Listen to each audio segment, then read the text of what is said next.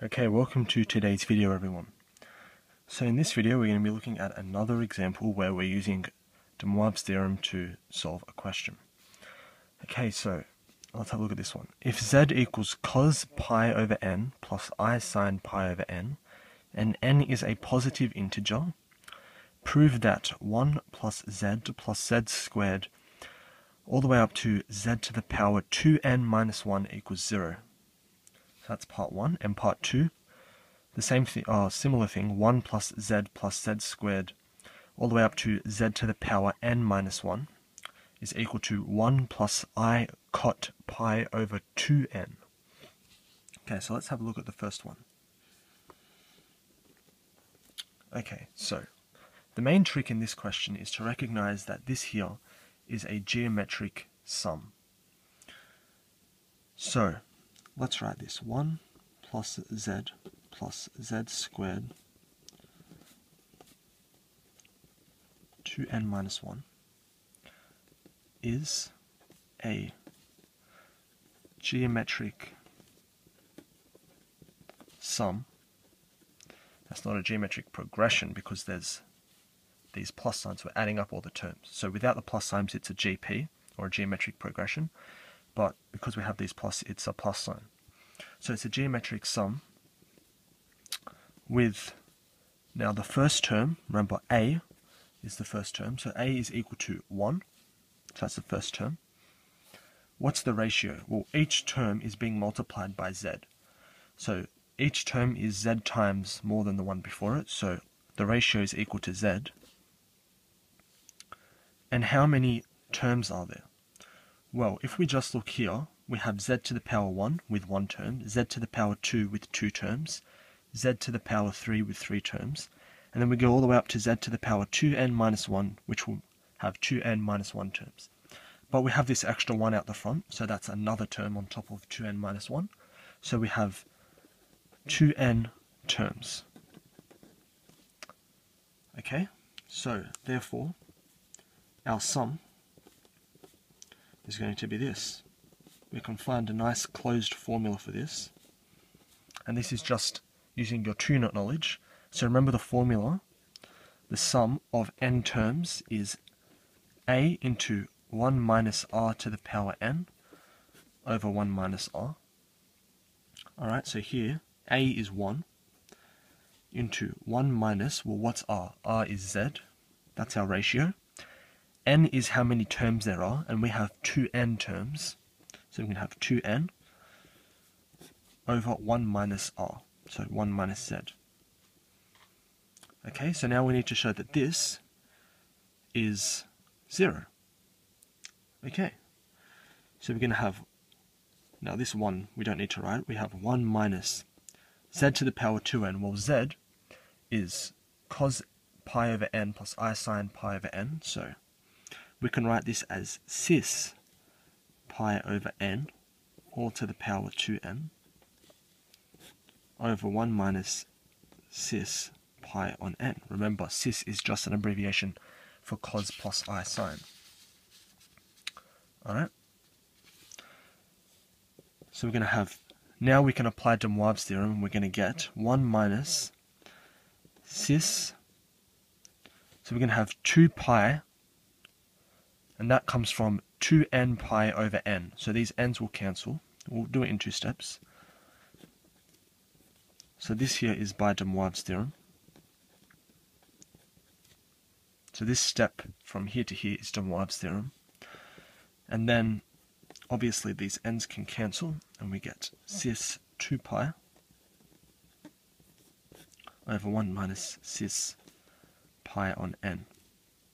Okay, but cis 2 pi has a value. What's its value? Well, you can think of what cos 2 pi is and sine 2 pi is and work it out.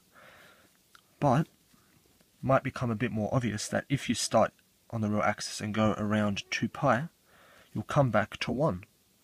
So this value here is 1, and we're going to get 1 minus 1 over 1 minus cis pi on n, and 1 minus 1 on the numerator, provided that the denominator is not 0, so this will be 0 over something that's non-zero, and so we get 0.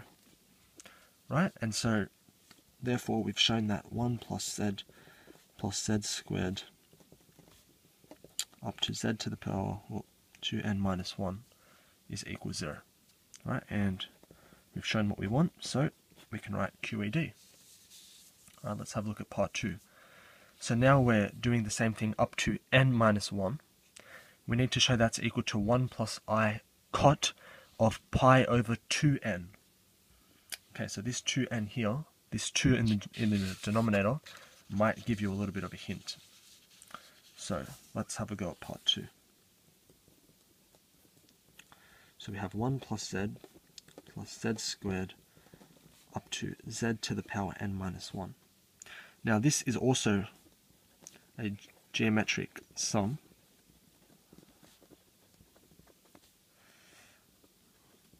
Again we have a equal to 1 r equal to z, how many terms do we have here? Well, if we just consider the z's, we have 1, 2, 3, 4, all the way up to n minus 1. And then we have this extra term here, which is 1. And so we have and n terms. We have n terms.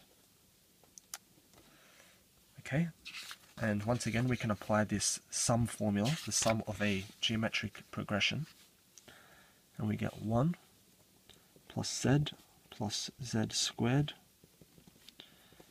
up to z to the power n minus 1. That's equal to a, which is 1, into 1 minus r, which is z to the power n, or to the power however many terms, in this case it turns out to be n, over 1 minus r, which is z.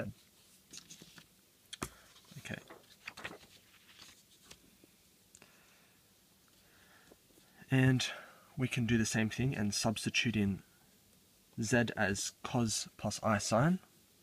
So it's 1 minus, well, cos plus i sine can be written as cis, and so that's what we get, 1 minus cis pi on n. Okay, now we can apply de Moivre's theorem again.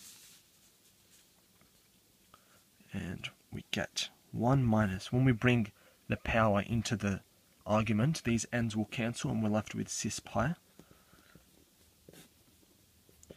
1 minus. Now I'm going to write this cis in expanded form.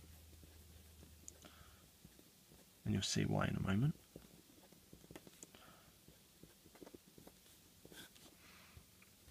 Okay, now what's cis pi? Well, cis is pi is going to the negative real axis, so this is going to be minus 1. So this will be 1 minus negative 1, which is 1 plus 1, or just simply 2, over. Now, how are we going to simplify this? The aim here is to eliminate this 1 out the front. And we've seen in a couple of uh, videos before that the trick here is to remember your double angle formulas. Let's move this up. Remember your double angle formulas. Cos 2x. Now here, remember cos 2x can be written in three different ways.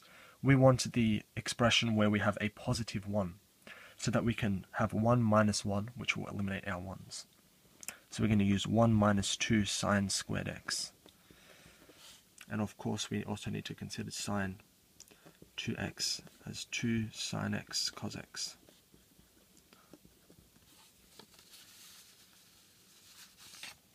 that completely. Alright, so we're going to use 1 minus, now cos is going to be 1 minus 2 sine squared of half of this angle. Okay, so 1 minus 2 sine squared of pi over 2n, because we want half of this angle here. Okay, plus 2 sine pi on 2n cos pi on 2n. And there's an i at the front because it's i sine. Okay. Now, when we simplify, we're going to get 2 over. Now this 1 and minus 1 will cancel, and then we have to flip the signs here because we have a minus out the front. So this will become 2 sine squared pi on 2n plus 2i sine pi over 2n cos pi over 2n. In the denominator, we can factor out a 2 sine pi over 2n. So we're going to have 2 all over 2 sine pi over 2n. And here we're left with sine pi over 2n. Oh, this should be a negative here because we're flipping the signs. Minus a i cos pi on 2n. Okay, now usually when we have sine plus or minus i cos, we like to change around and get to cos plus i sine. And the way we do that is by exploiting the fact that i to the power 4 is 1 and i cubed equals minus i. But we don't actually need it in this case. Because all we want to do is realize this denominator. And the way to do that is multiplying by the conjugate. So when we we can cancel these 2's and we're going to left with a 1 on the in the numerator. and when we multiply by the conjugate, that'll be multiplying by sine pi over 2n, and the conjugate's just flipping this sign here. So we're going to have plus i cos pi on 2n.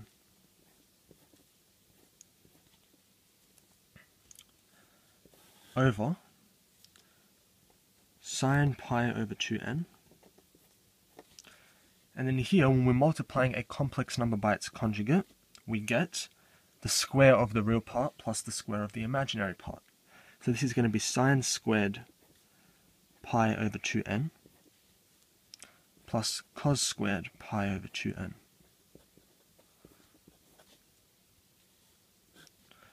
Okay? Now we recognize here that we have sine squared of an angle plus cos squared of the same angle. So this here is 1. This is our trigonometric identity. So we get sine pi over 2n plus i cos pi over 2n all over sine pi over 2n and then we can divide both parts and we get sine divided by sine is 1 plus i cos divided by sine is cot, which is the reciprocal of tan, cot pi on 2n. And that's what we wanted to prove. Okay, so we've shown this result here. And when we do that, we can write QED.